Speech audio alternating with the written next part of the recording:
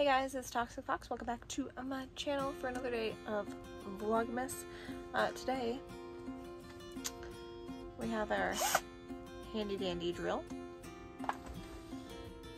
We have our handy dandy knitting machine. And we have all of this yarn. Now, while there are a few things that I do really love, like the retro stripe and the neon stripe, uh, that I'll be making hats to sell with, the majority of this we are going to turn into hats that we will be donating. Uh, there is a local group of ladies who actually put together different um,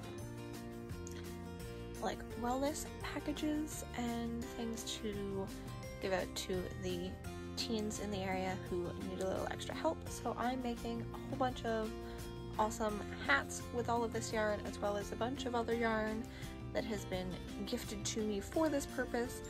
Um, and then there's a couple like these purples here and these blues and some candy stuff. Uh, so yeah, we are making a lot of hats. Step one is to make tubes. This here, this is a hat. Uh, I'm not going to show you how I turn it into a hat from this tube because there are tons of videos on YouTube for how to do that. Um, but I hope you um, hope you enjoy the rest of this video. If you want to donate yarn or anything for the hats, you can check out the Amazon list down below.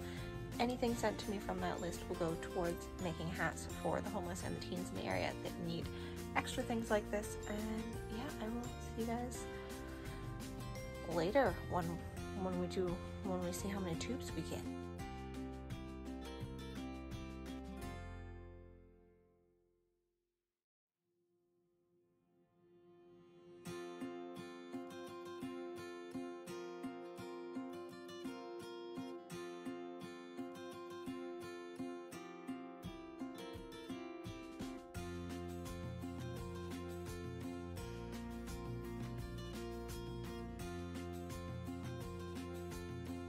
We're gonna have to stop for tonight because as you can see here, my machine is, is throwing a fit and dropping stitches. So um, this is the pile of hat tubes that we have so far.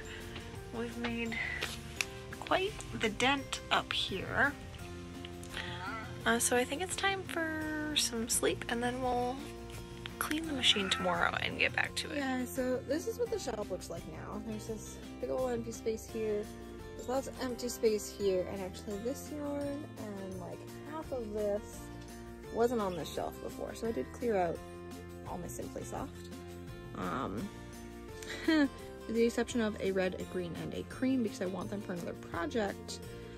Unfortunately, that project is on hold. Uh, but I have amassed 55 hats, uh, 7 headbands, and 3 scarves uh, that I have made using up my excess yarn. Nico, what are you doing? What are you playing with plastic for? Where'd you get the plastic? What are you doing? No, don't come over here. My cat's trying to visit me. Uh, but I thought I would show you some of the hats. Uh, not all of it was made of Simply Soft, and there are a couple hats that I have left over from my shows that I was like, well, I'll donate those too.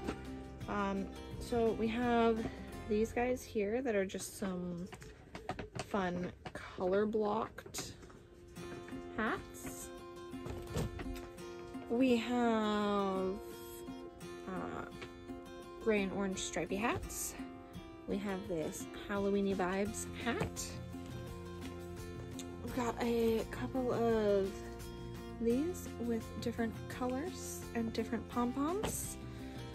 We've got a rainbow one that I'm going to donate. We have a pastel, like Eastery one I'm going to donate.